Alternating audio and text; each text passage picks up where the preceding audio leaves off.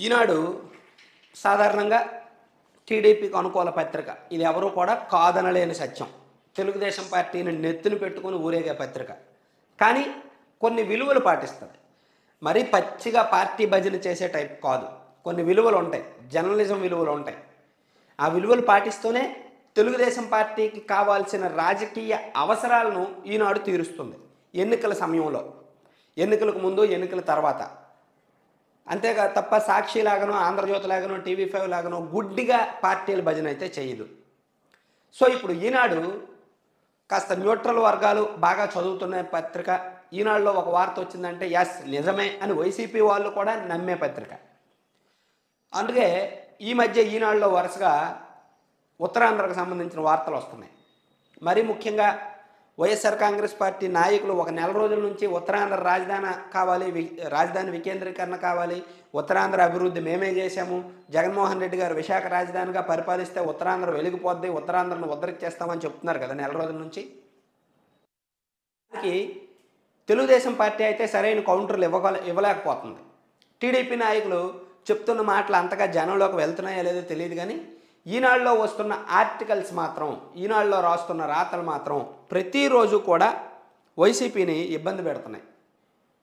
YCP ఈ మూడు రాజధానుల వికేంద్రీకరణ అనడం వెనక వైఎస్ఆర్ కాంగ్రెస్ పార్టీ విశాఖపట్నాన్ని పరిపాలనా రాజధానిగా ఎంచుకోవడం వెనక ఉన్న ఉద్దేశం వాళ్ళ దురుద్దేశం ఏంటి? వాళ్ళు ఎటువంటి ఇంటెన్షన్తో ఉన్నారు? అక్కడ భూములను ఏ విధంగా కబ్జా చేస్తున్నారు? అక్కడ ప్రభుత్వ ఆస్తుల్ని ఏ విధంగా చేస్తున్నారు? అక్కడ అభివృద్ధి గత ప్రభుత్వం చేసింది తప్ప ఈ ప్రభుత్వం ఏమీ చెయ్యలేదు. ఇలా ప్రతిరోజు కూడా ఏదో ఒక ఆర్టికల్తో వైసీపీని అయితే వణికిస్తున్నారు సాధారణంగా ఈనాడు వైసీపీకి వ్యతిరేకంగా డైరెక్ట్ అటాక్ ఎన్నాళ్ళలో ఎప్పుడూ చేయలే. ఈ మూడున్నరేళ్ళలో ఎప్పుడూ కూడా ఈనాడు డైరెక్ట్ అటాక్ చేయలే వైసీపీ మీద.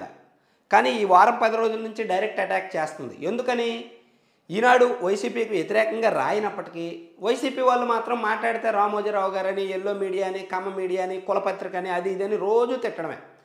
ప్రతిరోజు కూడా ఈ మూడున్నరేళ్ళలో వైసీపీ నాయకులు ఎప్పుడు మీడియా ముందుకు వచ్చినా సరే ఈనాడిని ఆంధ్రజ్యోతిని టీవీ ఫైవ్ని అన్నింటినీ ఒకే ఘాటిని కట్టి తిడతారు.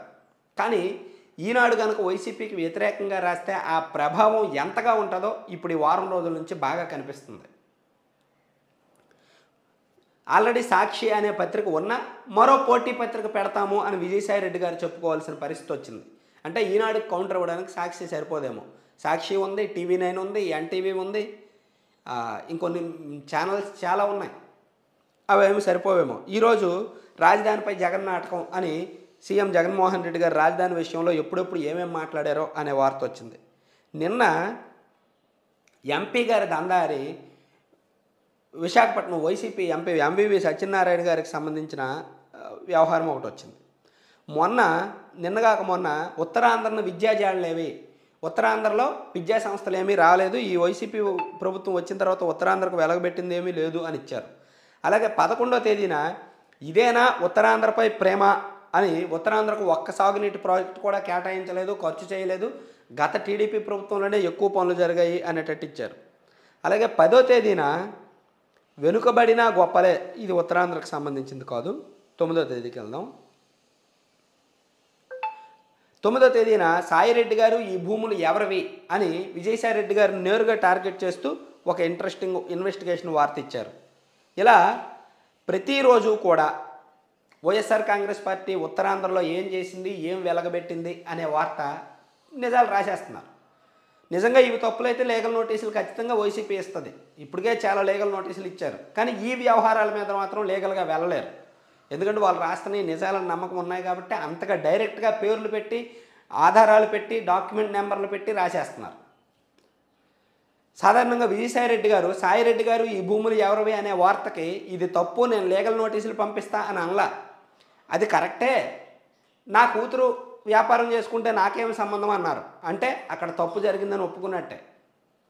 నిజంగా ఇది తప్పు నాకు పరువు నష్టం దావా పరువు నష్టం కలిగింది నేను ఈనాడు మీద లీగల్గా వెళ్తా అని చెప్పి విజయసాయిరెడ్డి గారు అనలేదు కదా ఆ రోజు? సో ఆ వార్త నిజమని ఒప్పుకున్నట్టే.